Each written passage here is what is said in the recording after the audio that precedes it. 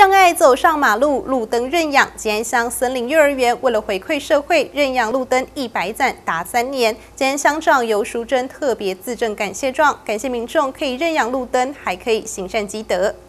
善用社会力量，鼓励民众认养路灯，是目前许多乡镇都普遍开办的认养路灯制度。路灯认养对乡镇财政是相当重要。每年除了支付电费和维护的费用，还会有一些增设路灯的需求。如果路灯认养的费用越多，对乡内就更有余力去点亮需要的角落。教育爱，关怀情，谢谢我们森林幼儿园为我们点亮百盏。平安回家的路，谢谢我们宋兆荣园长一次认养一百盏的路灯，连续三年捐赠额高达二十四万元。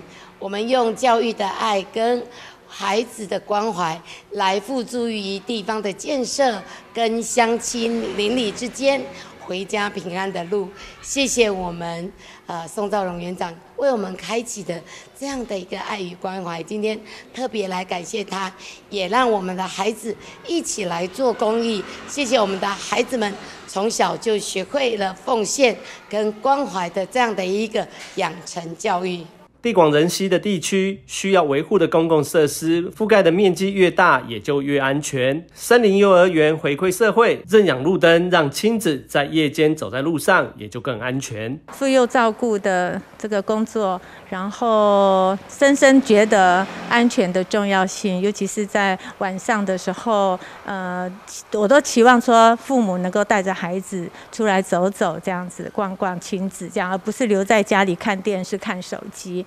那当然安全很重要，所以我就想说，那能够回馈的地方就是认养一些路灯，让这个我们小地方、小社区还有一些路况的部分能够安全，这样纯粹只有这样子尽一个小。小的力量而已。路灯需要维护的公共设施面积相当的大，而认养路灯对于财政的舍助效果也就相当的显著。吉安乡长尤淑珍也特别感谢认养路灯的爱心人士，也希望大家能够抛砖引玉，一起来做善的循环。记者林杰吉安乡采访报道。